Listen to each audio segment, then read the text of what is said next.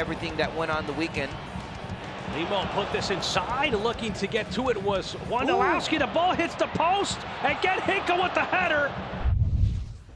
Remain in the second place in the West, waiting for the Dynamo that's playing. Oh, that was sensational for Urruti on the rebound. The opportunity is for Dallas. The shot, yes! Goal! It's Kellyn Acosta who's able to take the shot for Dallas. His formation with 1-0 down, you want to go all out attack. Thompson can have a shot. He will first time.